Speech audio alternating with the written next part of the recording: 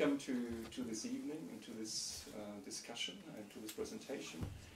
Uh, presentation that we organize, we, the Faculty of Law, Economics and Finance, organize together with Ethica, uh, the Initiative via Alternative Finanzierung.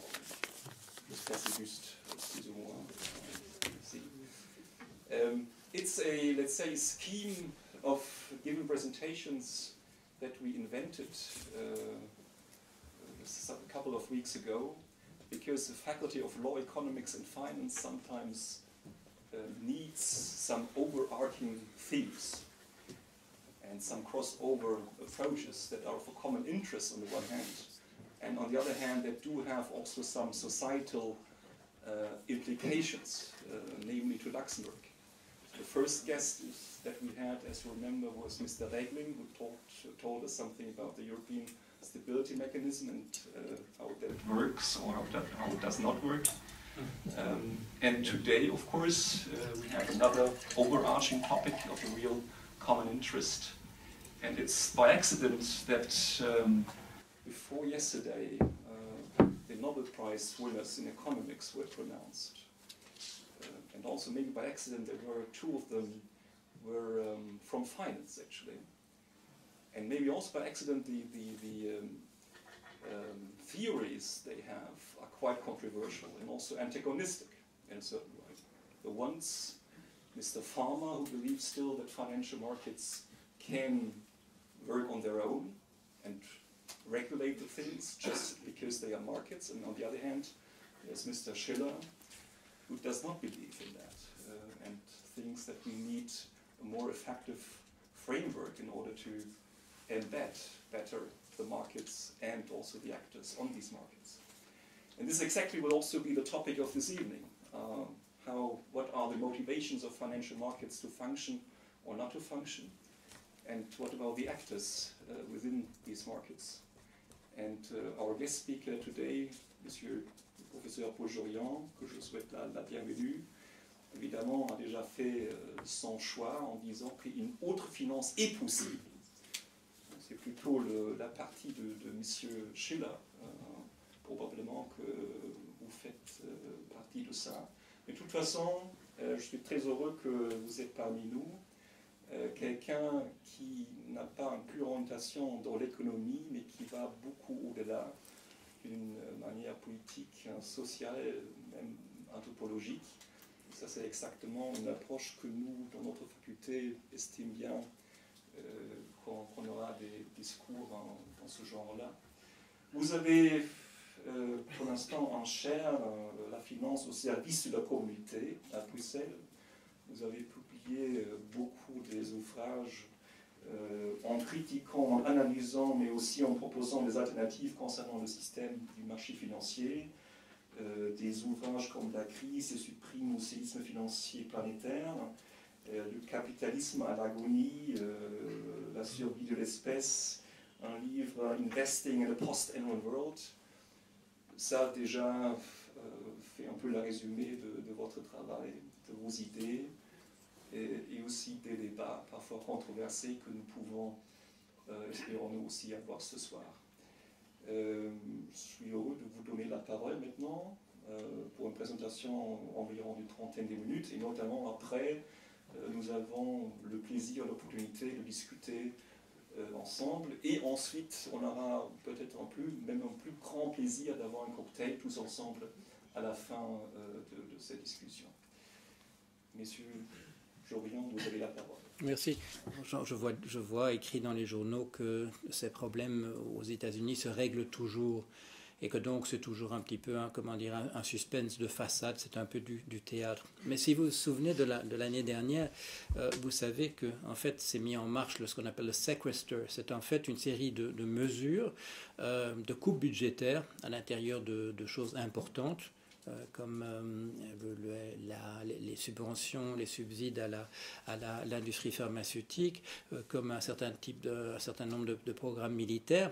Et si vous vous souvenez, au moment où on a mis en place le sequester, l'idée c'était de dissuader justement les, les congressistes, les parlementaires et les, et les sénateurs de, de, ne pas résoudre le problème. Or, maintenant, tout cela se met en marche. C'est-à-dire qu'en fait, il y, a, il, y a, polarisation. La polarisation date, en fait, elle date de la crise. Bien sûr, il y a eu des périodes déjà d'opposition aiguë entre les, entre les partis euh, aux, États-Unis. Il, il, y a eu la guerre de sécession, bien entendu. Il y a eu une période ensuite, à la fin du 19e siècle, autour des années, si je m'en souviens, 1898 aussi. Mais dans la période récente, euh, la période qui suit 1937, parce qu'en 1937, il y a eu aussi, vous le savez, des, des affrontements assez, assez, assez durs entre Roosevelt et, la, et les républicains. Mais depuis cette époque, il y avait une sorte d'accord qui a même fait dire aux Européens souvent qu'on ne voyait pas très bien la différence entre, parti, entre le Parti démocrate et le Parti républicain aux États-Unis. Et depuis, depuis, depuis le début de la crise, les, je dirais les, les questions de société, vraiment les choix de société, euh, deviennent, deviennent essentiels. D'un côté, vous avez bien entendu euh, les libertariens qui considèrent que que l'État a une, fonction essentielle qui est de protéger la, la propriété privée et de, faire fonctionner le, système, le système monétaire alors que les démocrates sont attachés à ce que nous appelons l'État-providence, le, welfare state, et d'une certaine manière, je dirais un peu paradoxal dans l'évolution récente, euh, le Obamacare, l'assurance euh, maladie universelle euh, proposée par Obama, dont je vous rappelle qu'en fait c'était une idée qui avait été lancée il y a pas mal de temps sous Clinton par Madame Hillary Clinton qui avait proposé cela et cela avait échoué lamentablement. Et bon, ça a été, relancé plus récemment. Et c'est autour de cette idée d'État-providence ou d'État veilleur de nuit, puisque c'est l'expression qu'on utilise de manière classique quand on, quand on limite le, pouvoir de l'État à essentiellement défendre la, propriété privée et ce qui en, dépend, bien entendu. Il y a aussi, quand on défend la propriété privée, il faut défendre aussi euh, les gens qui défendent leur propriété privée. Il faut qu'il y ait un système de, tribunaux, il faut que la justice, il faut qu'il y ait un système de prison, etc. Mais donc il y a une, vision, je dirais, comment dire, minimaliste et une vision maximaliste du rôle de l'État qui, euh, euh, sont, qui sont en présence. Alors, c'est une, bonne manière, une bonne entrée en matière euh, pour parler de cette question qui est la, question qui, nous rassemble ce soir. C'est la question, y a-t-il une autre finance possible? Et s'il y a une autre finance possible, faut-il faut la mettre en vigueur? Comme vous le savez, bon, la, période, la période qui démarre aux, alentours des, années 1900, 1970, c'est une période où justement il y a un reflux, un, reflux de l'idée de, de l'État-providence. On a connu la période, je dirais, d'inspiration keynésienne à partir de 1944-1946. Et euh, il y a un, il y a un, mouvement, un mouvement euh, en, sens inverse euh, qui sont mis en, euh, qui naît, je dirais, du point de vue de la, de la, constitution, de la représentation même de ce qu'il faudrait faire on associe cela à l'idée de l'école de, Chicago. Il y a des personnages importants. Il y a des, gens comme M. Hayek, Frédéric Hayek, euh, prix Nobel d'économie, si j'ai bon souvenir, en 1972. Il y a M. Friedman, euh, prix Nobel d'économie en 1976. Si je me trompe, euh, vous me corrigez. Et M. Gary Becker, 1986. Voilà, il y a, il y a je dirais, un certain triomphe de l'idée libertarienne, anti-étatique. Monsieur Alan Greenspan n'est bien entendu pas un économiste qui obtiendra un, prix Nobel d'économie, mais il fait partie de ces personnes qui, sont, qui s'identifient entièrement à la, euh, cause, libertarienne, au, moins-disant étatique, au, moins, au, pouvoir le plus limité possible euh, de l'État. Ce sont Madame Thatcher, euh, c'est elle qui commence, euh, si je m'en souvenir, en 1974 aux États-Unis, euh, en Angleterre, au Royaume-Uni, ensuite Monsieur Reagan en 1980 aux États-Unis. Et comme vous le savez, les, institutions, les institutions européennes, en fait, embraient dans la même, dans, la même direction. Et donc nous avons, nous avons une dérégulation associée à une privatisation qui, qui, démarre dans ces, dans ces années-là, qui est mise, en, qui est mise en, en, pratique. Et il n'y a pas que des gouvernements qualifiés de conservateurs qui adoptent ce type de, politique. Après des, certaines hésitations pendant un certain nombre d'années, M. Mitterrand sera finalement l'un des artisans de cette libéralisation, en particulier à l'époque où son Premier ministre est M. Bérégovoy. Mais on va dans, dans cette, dans cette direction-là. La question qui se pose en, deux, en 2008, au moment de l'effondrement du système financier par le biais euh, des money markets, qui s'effondrent donc, si j'ai bon souvenir, c'est autour du 17 ou du 18 euh, septembre euh, de 2008, et les conséquences qui en, qui en résultent, c'est-à-dire la nécessité d'injecter de, manière immédiate des, euh, centaines de milliards de, dollars dans l'économie pour essayer de la sauver, et non seulement des dollars, mais bien entendu aussi euh, des, euh, des, yens, des euros, et, ainsi de suite. il y a une période à ce moment-là d'hésitation, à la fin 2008, début de 2009. Faut-il essayer de reconstituer le système qu'il vient de montrer ses faiblesses Faut-il le reconstituer tel quel ou faut-il faire des modifications importantes? Mais comme vous le savez, euh, la, la, la, loi euh, Dodd-Frank euh, aux, États-Unis, certains aménagements en, Europe, le, la, système, comment ça s'appelle, le, le Volcker, Rule aux États-Unis, sont des mesures qui s'annoncent qui comme relativement radicales et puis qui s'enferment un petit peu dans l'application, c'est-à-dire par exemple on ne trouve pas les budgets pour créer les équipes qu'il faudrait, euh, qu'il faudrait associer. Un certain nombre de vétos sont mis dans des discussions entre l'industrie financière et les représentants des gouvernements. Juste un exemple, c'était en juin, euh, si je me souvenir, de 2012. La SEC, um, Securities and Exchange Commission aux États-Unis, a travaillé depuis 2009 à mettre au, point un plan pour empêcher que ne se reproduise une situation sur les money markets comme celle qui est apparue en 2009 et qui a conduit à l'effondrement. La Commission dépose ses, ses, conclusions sur comment faire pour qu'une situation de ce type-là ne se représente pas il y a un débat au sein du, de, la, de, la, commission et une personne dont on sait qu'elle est très liée au milieu fi financier met son veto de fait parce que c'est lui qui décide que la majorité fera que ces mesures ne seront pas mises en application. D'autres, vous connaissez d'autres cas, c'est la CFTC, Commodity, uh, Commodities and uh, Commodities Financial Futures, Futures TC, Trading. Trading Commission, merci beaucoup, euh, décide de limiter l'accès aux non des, des, non-négociants, ce qu'on appelait les commercials en, américain, décide de, limiter leur accès au, au marché de, futures, de, des marchés à terme. Et une, une plainte est déposée par euh, les représentants de l'industrie financière qui conduit immédiatement à une décision de justice qui interdit cette, enfin qui bloque en tout cas euh, cette mesure. Un autre cas dont vous avez peut-être entendu parler, tentative de régulation des milieux du, euh, secteur pétrolier, euh, où l'Agence internationale pour l'énergie se range du côté de l'industrie contre le gouvernement américain et produit un chantage, un véritable chantage, en disant si les mesures sont prises, euh, les informations, les données sur le, fonctionnement de l'industrie ne seront plus communiquées au, gouvernement. Position, on est donc dans une situation, situation difficile. Dernier exemple, je dirais, dans cette série, la chose qui crée un petit peu un scandale juste avant l'été euh, cette, année-ci, euh, Monsieur Holder, um, General Attorney of the United States, le, ministre de la Justice américaine, qui se trouve dans une, une commission sénatoriale, lui pose des questions en, en, demandant pourquoi, pourquoi aucune plainte, il n'est pas question de, je dirais, de, comment dire, de mettre des gens en prison, mais pourquoi aucune plainte n'a-t-elle jamais été déposée depuis 2008 contre des dirigeants de banques Et il répond, il répond, le rapport de force est défavorable au ministère de la Justice dans son rapport à la, finance. Il nous est dit que si nous déposons plainte contre un dirigeant, c'est l'économie qui en souffrira et c'est la raison pour laquelle nous ne, nous ne procédons à, à, aucune inculpation.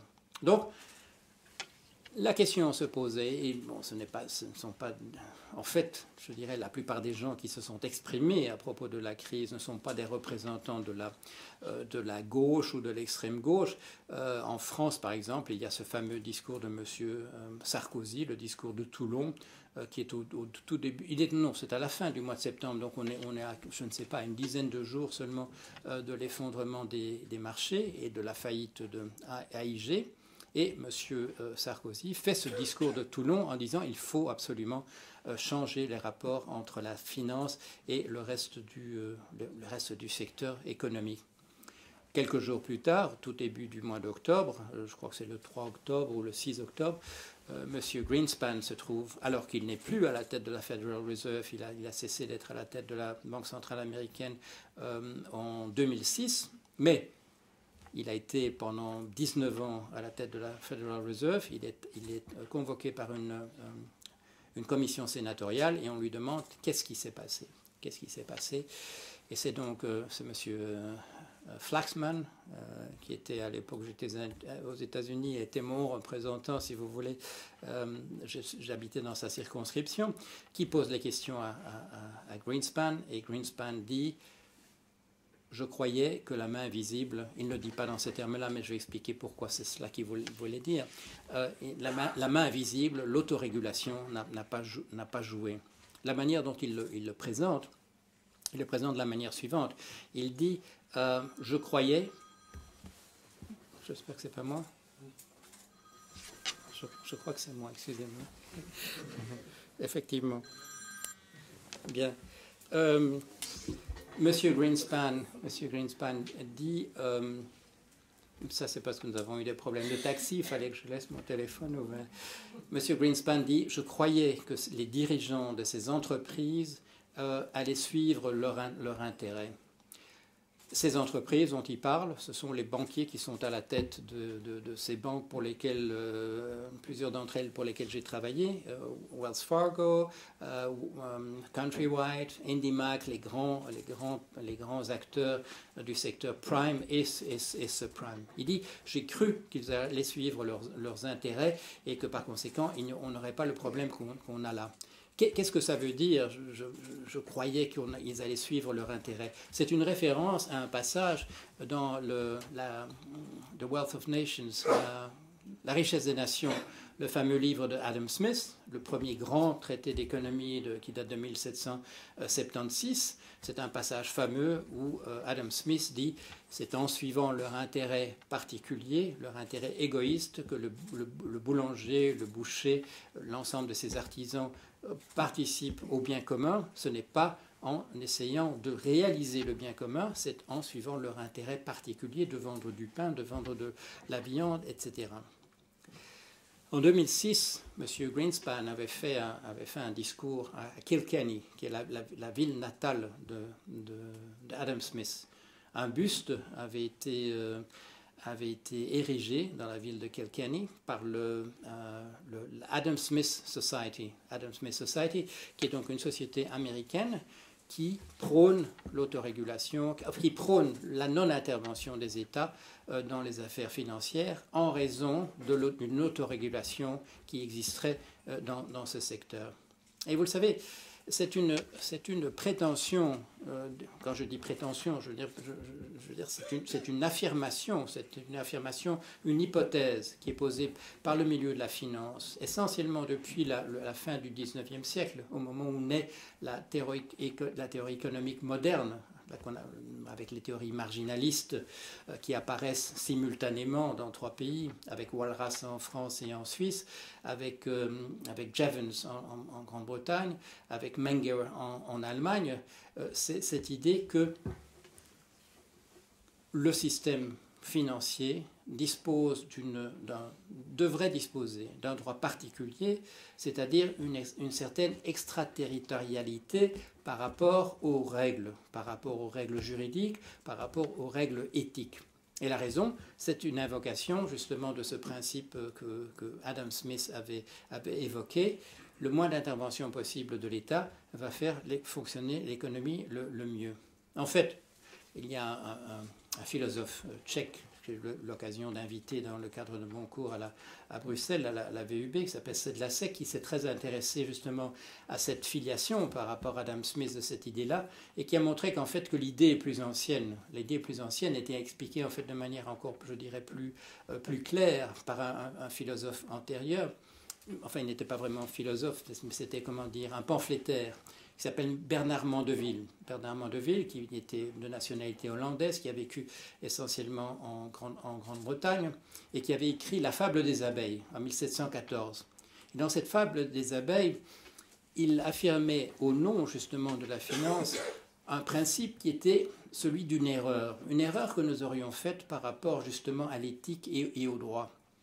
Le, principe tel qu'il l'énonce, et c'est d'ailleurs le sous-titre de son livre, c'est Private Vices, Public Benefits. Nous avons fait une erreur en croyant qu'en exigeant le comportement vertueux de l'ensemble des citoyens, nous allions faire fonctionner la société telle qu'il faudrait, d'une manière optimale. Et il dit, lui, au contraire, en fait, ce sont les vices dans nos sociétés qui font fonctionner la société et la vertu ne constitue en fait qu'un obstacle. L'enfer est pavé de bonnes intentions. Et il donne quelques exemples.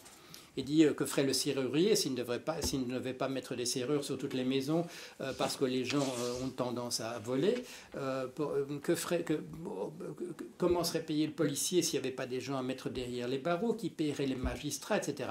Et il fait une démonstration en essayant d'inverser d'inverser la, logique qui était celle jusque-là, qui disait qu'une société fonctionne bien quand les, quand les citoyens sont vertueux, en disant non, c'est quand, quand la société fonctionne de manière spontanée, avec, toutes les, euh, avec la cupidité, avec euh, nos, nos, péchés capitaux, etc.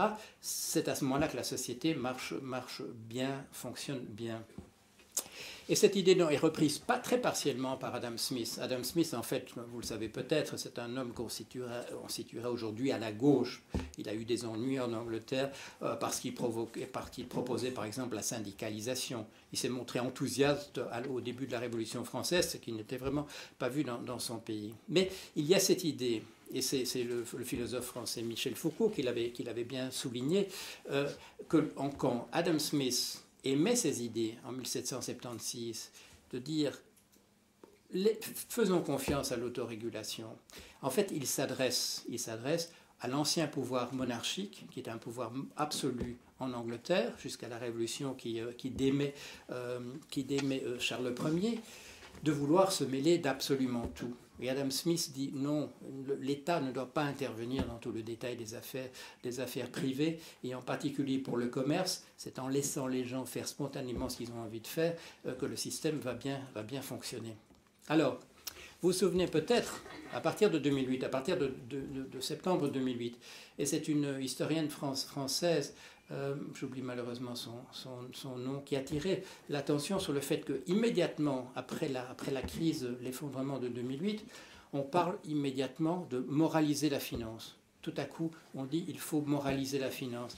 Et c'est un retournement. C'est un retournement parce que c'est une suggestion que l'autorégulation ne marche pas et qu'il faut un retour de la morale. Il faut renverser la tendance que Mandeville avait, avait initié, euh, que Adam Smith d'une certaine manière avait confirmé, il faut renverser ce mouvement. Sans la morale, sans une attitude morale des gens qui font la finance, ça ne pourra pas fonctionner. D'une certaine manière, je dirais, c'est une, euh, comment dire, c'est une conclusion logique de ce qu'avait dit, euh, de ce qu'avait dit Greenspan au moment où il reconnaît qu'en fait l'autorégulation, la main visible, n'a pas fonctionné. Je vais prendre deux exemples qui sont quand même des, illustrations assez convaincantes du fait que dans certains cas, et en particulier quand ça ne va pas, bien, la main, la main visible ne fonctionne pas.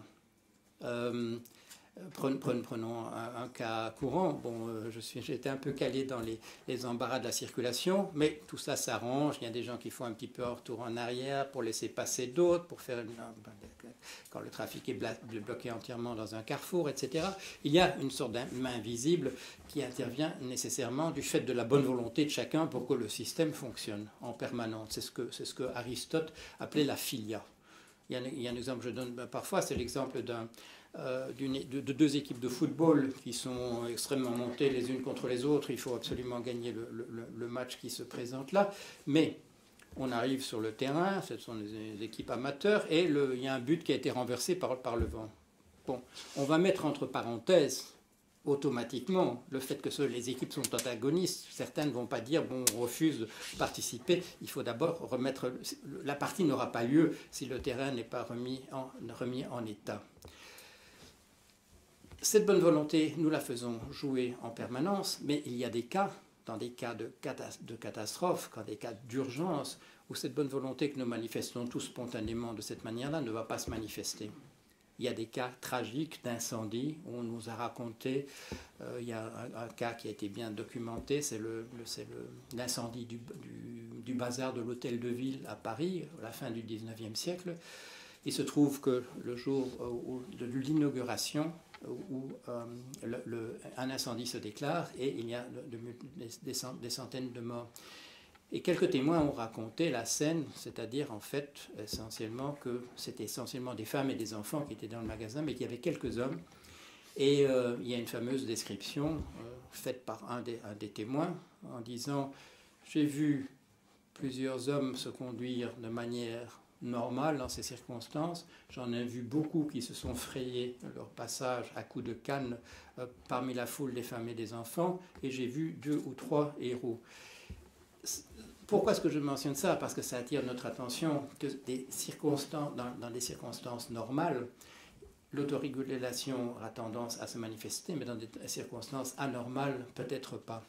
Et donc, deux, exemples.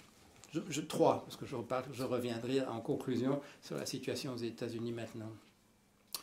Un cas fameux qui euh, est débattu devant une commission euh, sénatoriale en 2010 le cas de, la création de l'attitude de la compagnie Goldman Sachs euh, par rapport à la création de certains CDO synthétiques, Collateralized Debt Obligation synthétiques. C'est un cas qui est très documenté. il y a eu, je ne sais plus combien, quelques dizaines d'heures d'audition de dirigeants de, Goldman Sachs. J'ai observé ça moi en, direct, alors que pour nous, ça se passait vers 2h, 3h, 4h du, matin. J'ai regardé ça par curiosité quand même, comment ça se, comment ça se passait. Il s'est passé la, chose suivante, c'est que Goldman Sachs, en 2007, est resté très bullish, est resté très enthousiaste sur le marché des, des, subprimes. En dépassant la période de, février, euh, février 2007, quand le prix des subprimes commence à tomber de manière massive. Pourquoi? Parce que en 2006, en mois d'août 2006, le prix de l'immobilier a culminé aux États-Unis, mais les subprimes sont dans une dynamique de, bulle financière, dans une dynamique de machine de Ponzi, comme disent les Américains. Et à partir du moment où l'immobilier, le, prix de l'immobilier ne continue pas à, croître, euh, les, emprunteurs euh, subprime, en particulier ceux qui se refinancent systématiquement avec l'appréciation de la maison dans une perspective, je dirais, purement spéculative, c'est-à-dire ils se refinancent pour payer les mensualités, leur mensualité de, de mortgage, c'est-à-dire donc de leur prêt immobilier, avec l'argent qu'ils ont, pu, euh, ont pu dégager le, système commence à plonger en, février 2007. Il y a la grande alerte, de, je crois qu'il date du 14 ou du 15 février, quand le prix des subprimes commence à, baisser significativement. Mais Goldman Sachs reste bullish là-dessus, continue à, penser que le, système va, continuer de fonctionner. En, fin, en fin 2007, commence à avoir, euh, Goldman Sachs se rend compte des pertes qui sont encourues on commence à vendre des, des subprimes en jouant sur l'asymétrie d'information. On s'adresse à des clients potentiels, en général des bons clients de Goldman Sachs, et on joue sur le fait qu'ils n'ont pas nécessairement une information de la même qualité que ceux que les dirigeants de la banque ont. C'est-à-dire que dans l'appréciation, si le produit est bon ou mauvais d'un point de vue financier, s'il va encourir des pertes ou s'il essuyer des pertes ou non, la compagnie joue sur le fait qu'elle a une meilleure information et elle vend des produits à, des, à des, prix qui sont des prix à ce moment-là qui sont des prix surfaits. Dans la deuxième période, en 2008, on passe à une, autre, étape, c'est-à-dire que La compagnie ne va pas se contenter d'essayer de vendre à un prix surévalué les produits dont elle dispose, mais elle va organiser des paris sur des produits dont elle sait qu'ils sont de la, d'une médiocre qualité. Pourquoi? Parce qu'il y, a eu un arrangement avec, euh, avec M. Paulson, qui dirige un hedge fund, pour qu'il choisisse, pour qu'il constitue un CDO. Vous savez, un CDO est constitué de tranches on prend des morceaux d'obligations qui ont été créés à différents endroits et on en fait un produit particulier. Monsieur, on demande à M. Paulson de créer un produit non pas pour faire le produit de la meilleure qualité, mais au contraire pour faire un produit de la, de la pire qualité. Totale asymétrie de l'information, parce que Goldman Sachs va essayer de convaincre ses clients d'acheter ce produit, joue sur le fait que, comme la firme a une réputation je dirais, excellente, que le client va supposer a priori qu'on ne lui vendrait pas un produit de, mauvaise qualité. Et là, il s'agit d'une situation synthétique, c'est-à-dire qu'on ne vend pas simplement une obligation particulière, on crée un indice, et cet indice, c'est lui qui va être tradé, qui va être vendu ou acheté. C'est-à-dire que on constitue à partir d'un produit, je ne sais pas, le produit s'appelait Abacus, je ne sais plus exactement de quel, montant il était. Disons que c'est un produit, je ne sais pas, de ce qui vaut 500 euh, millions de dollars. Mais on ne va pas jouer autour de ces 500 millions de dollars, on va créer des paris sur le fait que le prix va monter ou descendre. Vous comprenez automatiquement que dans des situations comme celle-là, on peut créer des paris pour des montants beaucoup plus élevés on peut créer des montants beaucoup plus élevés puisqu'on parie simplement sur la qualité d'un produit. Il y a indépendance entre la valeur même du produit, disons les 500 euh, millions de dollars, et euh, les paris qui peuvent être organisés. De la même manière que quand il y a des courses de chevaux, on peut parier sur les courses de chevaux sans que le montant des paris ait le moindre rapport avec la valeur objective du cheval s'il fallait acheter ou vendre, vendre ce cheval. Et on se trouve donc dans une situation où pour se refaire, comme on dit au casino, pour gagner de l'argent, la compagnie Goldman Sachs organise des paris sur un produit dont elle sait euh, que la qualité est mauvaise, non pas par, de manière statistique, mais parce que de manière délibérée, on a créé le produit de la, plus mauvaise qualité. Alors, Monsieur Blankfein, euh, CEO, euh, président directeur général de Goldman Sachs, est invité à venir se justifier euh, devant la, commission du, Sénat. Et sa justification de dire c'est nous sommes des nous sommes des market makers, nous sommes des l'expression en français c'est nous sommes des teneurs, de des teneurs de marché, merci. Nous sommes des teneurs de marché, c'est-à-dire que nous vendons et nous achetons des produits devant des clients qui sont, en anglais on dit sophisticated, c'est-à-dire qui sont au courant de, ce dont on, ce qui est vendu ou ce qui est acheté, et par conséquent, la, négociation porte uniquement sur le prix. sur le prix ce qui est mis entre parenthèses, mais c'est la raison pour laquelle il y aura quand même des amendes considérables. Si je suis bon souvenir, ça, se monte pratiquement à 500 euh, millions de, dollars. L'amende qui sera infligée à Goldman Sachs, c'est qu'il y a asymétrie d'information, puisque le produit a été créé de manière délibérée comme étant de mauvaise qualité. Vous le savez, le, français, euh, le, commercial euh, euh, Fabrice Tour, qui, vendait ses produits, s'est trouvé récemment, il était le dernier encore inculpé dans cette, enfin le, seul inculpé dans, cette affaire. la question s'est posée de savoir qui savait exactement que le produit est de mauvaise qualité certains employés de Goldman Sachs ont, sont venus témoigner en disant que eux croyaient personnellement, à, partir de l'information dont ils disposaient, que le produit était de bonne qualité, etc. etc. Toujours est-il que, bon, je dirais, la, la, SEC euh, a imposé une amende de, l'ordre de 500 millions de dollars, considérant qu'il y avait, que Goldman Sachs avait joué euh, de la symétrie d'information. Alors, je crois que ça, c'était quand même un bon exemple de main visible qui ne, marche pas et qui ressemble plutôt, je dirais, au cas de l'incendie que j'ai mentionné, plutôt qu'au fonctionnement du boulanger, du boucher, dans l'exemple d'Adam Smith. Pourquoi? Parce que une attitude comme celle de Goldman Sachs, et on sait que d'autres banques ont fait la, même chose, il y a des hedge funds qui ont fait la même chose, Deutsche Bank a fait des choses tout à fait similaires, il est clair que dans un cas comme celui-là, le fait d'organiser des paris sur, le fait, qu'il y a un effondrement de l'industrie, évidemment précipite cet effondrement. C'est un facteur qui va dans le même sens.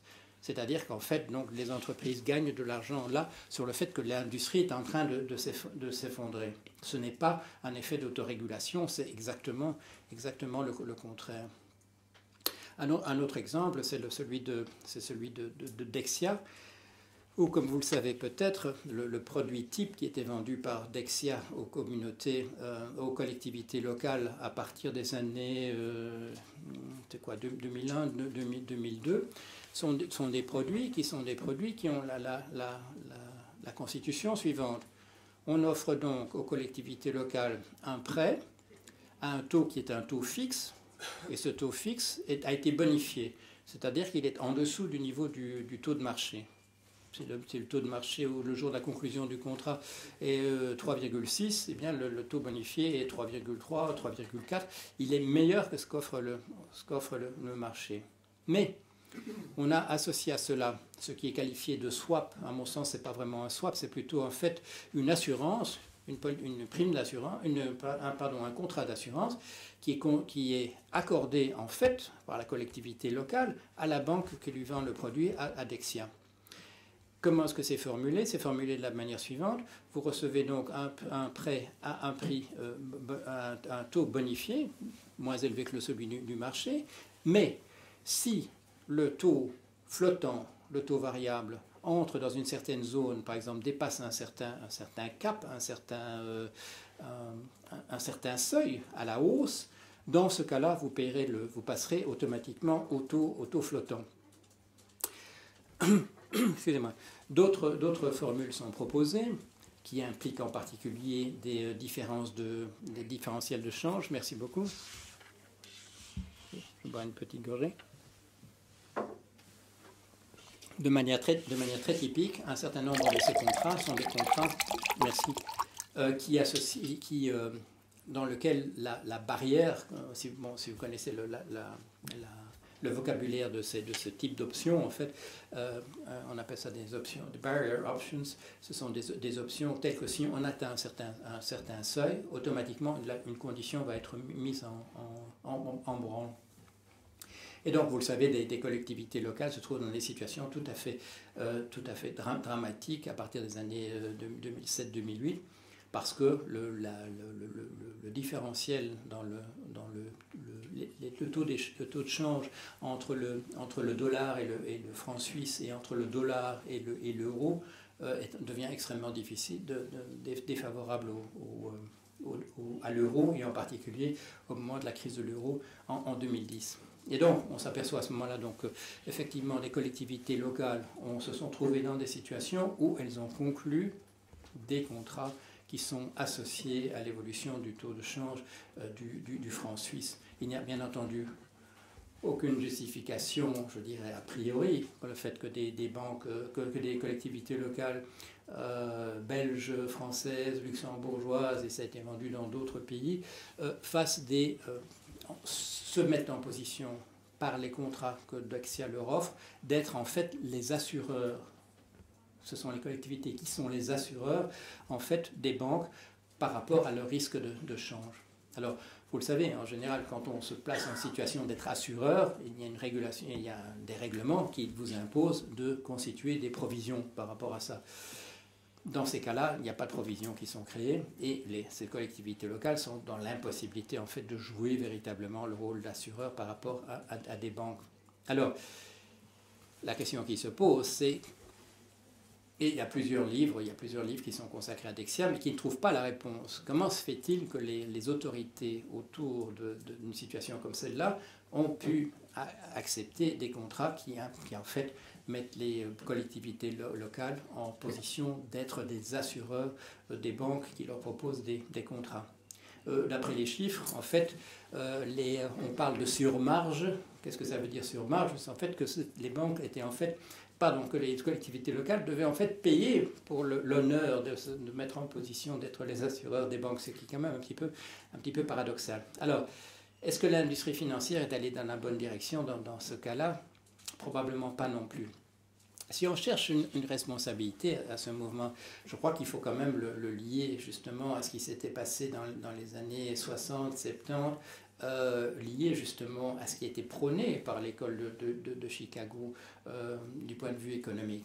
Ce sont les années où M. Milton Friedman introduit cette notion qui va quand même très à, l'encontre des idées d'Adam Smith, c'est-à-dire la compagnie, la, la, la corporation, la, compagnie privée travaille essentiellement pour, son, euh, pour ses, actionnaires, pour ses investisseurs, et il le dit, il le dit parfois dans certains textes explicitement, elle ne travaille ni pour ses clients ni, ni pour ses employés. Est-ce qu'on n'a pas introduit à ce moment-là, je dirais, un petit peu un, déséquilibre, un déséquilibre? Parce que, imaginons, prenons le, le, le, le, boucher ou le, boulanger de, Adam Smith, bien qu'il recherche simplement son propre intérêt, il n'a pas le sentiment de travailler contre son client il ne travaille pas quand même contre son client. Ce n'est pas, le sentiment général. On est dans un, dans un contexte de filia aristotélicienne, c'est-à-dire où chacun marque en fait sa bonne volonté vis-à-vis des, autres. Dans beaucoup des cas qui sont évoqués maintenant, euh, de savoir quelle est la responsabilité d'entreprises qui se sont trouvées dans des, choses difficiles, il y a quand même, il y a quand même eu le sacrifice du, du, service au, client. Pourquoi sacrifice du au client? Parce que entre le choix, parce que de temps en temps, euh, et ça peut être même dans la majorité de, certains cas, l'intérêt de l'investisseur et l'intérêt du client ne sont pas les mêmes. Pourquoi? Ben Parce qu'il y, a une logique de profit, il y a une marge de profit qui est dégagée, et ce que l'un reçoit, l'autre ne le reçoit pas. Alors, si l'on met entre parenthèses, c'est la question de l'empathie, c'est de se mettre à la place de l'autre. Si on, introduit un système où on, supprime l'empathie, où, on ne se met plus jamais à la place de l'autre, de la partie avec laquelle on contracte, on arrive dans une situation qui peut devenir extrêmement, je dirais, euh, comment dire, qui peut conduire à, des, catastrophes. Parce que, donc, par exemple, dans ce cas de, la compagnie Goldman Sachs se trouvant devant une, commission euh, sénatoriale, on, a cité, parce que ça avait été euh, l'information qui a été récoltée, il y a des propos qui sont extrêmement, extrêmement négatifs sur les clients. Il y a, il y a des moqueries, il y a des, euh, comment dire, il y a des suggestions de stratégies qui sont véritablement, je dirais, de destruction du client et pas, de travailler dans, son sens cette idée d'extraterritorialité de, la, finance par rapport à, l'éthique, par rapport à la, morale, elle, pose, une, question. Je crois que dans les situations économiques, euh, qui sont par exemple des situations économiques, prenons la, je dirais la, première moitié du XXe siècle, où nous sommes dans un monde où euh, le système ambiant, capitaliste, grossit de manière considérable en exploitant les ressources minières de l'Afrique, de l'Amérique du Sud et de, l'Asie. On est dans une situation où la spéculation passe relativement inaperçue parce qu'on est dans un processus d'explosion, je dirais, économique, parce que la, la, richesse est créée en très très grande qualité, quantité. Quand on se trouve dans un monde, je dirais, plus restreint, quand on arrive à, l'épuisement de certains types de ressources, on parle du pic pétrolier, quand on commence à avoir devant soi des, ressources qui ne sont plus infinies, à ce moment-là, les, excès deviennent, plus visibles en surface. Et ils peuvent, euh, contribuer, je dirais, à déséquilibrer véritablement des, situations. Et alors quand on se trouve dans des situations de crise comme celles qui apparaissent en, en 2008, la confiance qu'on a fait à l'autorégulation cesse d'être justifiée. Pourquoi? Parce que parfois l'intérêt égoïste n'est plus ne contribue plus au bien, au bien commun, mais consiste simplement en fait à précipiter la fin du système parce que c'est la dernière la méthode possible euh, pour, euh, pour tirer une certaine richesse de la, du, processus qui est en, face de soi. Alors, j'ai mentionné, euh, pensons, pensons à, ce, que dont j'ai parlé en, introduction. On se trouve aux États-Unis en ce moment avec un choix politique qui est un choix politique qui est euh, précisément celui qui est de, l'ordre qui est soulevé par, la, réalité. Il y a maintenant un choix à faire. Dérégulation, maintenir l'État essentiellement dans la mesure où il défend la propriété privée, ou réintroduire une notion faire un petit peu marche, arrière par rapport aux années Thatcher-Reagan, où on met l'intérêt collectif, l'intérêt général à l'avant-plan. Les opinions publiques, comme vous le savez, sont un peu montées dans la mesure où il y a eu pas mal d'effets qui ont été constatés, qu'on appelle euh, privatization of profit et uh, socialization of, of, of losses, uh, une situation qui apparaît aux yeux du public comme étant fort une situation où quand il y a des gains qui sont, uh, qui sont possibles d'un point de vue économique et financier, ce sont des individus, individus ce sont des, personnalités, des, individus qui en, qui, en, qui en, bénéficient. Et dans les situations où ce, ce type de stratégie ne fonctionne pas, c'est la collectivité dans son ensemble qui doit, qui doit payer l'ardoise, qui doit régler, régler l'addition à l'arrivée. Alors, c'est très intéressant, je dirais que le fait que aux États-Unis en ce moment, les deux positions, intérêt général d'un côté, continuer dans la voie qui était celle qui était celle de la finance, je dirais à partir des années 1970, c'est-à-dire continuer en faisant confiance à l'idée que qu'une autorégulation apparaîtra nécessairement des comportements individuels, c'est le choix auquel les, euh, euh, États-Unis sont confrontés maintenant. Le fait qu'on a des, deadlocks, c'est-à-dire des situations de, comment dire, où on est coincé parce qu'aucune des parties ne va, ne, va, ne va faire marche en arrière d'une manière ou d'une autre, ne va faire de, ne va faire de, compromis, montre que, voilà, nous, nous avons là deux, deux choix de société et ils sont antagonistes. Il n'y a pas de véritable situation de compromis entre les deux, et c'est à cela que nous assistons. Malheureusement, si on continue dans cette attitude-là, c'est le système tout entier qui va se paralyser simplement parce que, parce que les décisions ne seront plus prises. Alors, je, vais arrêter là et on va passer aux questions.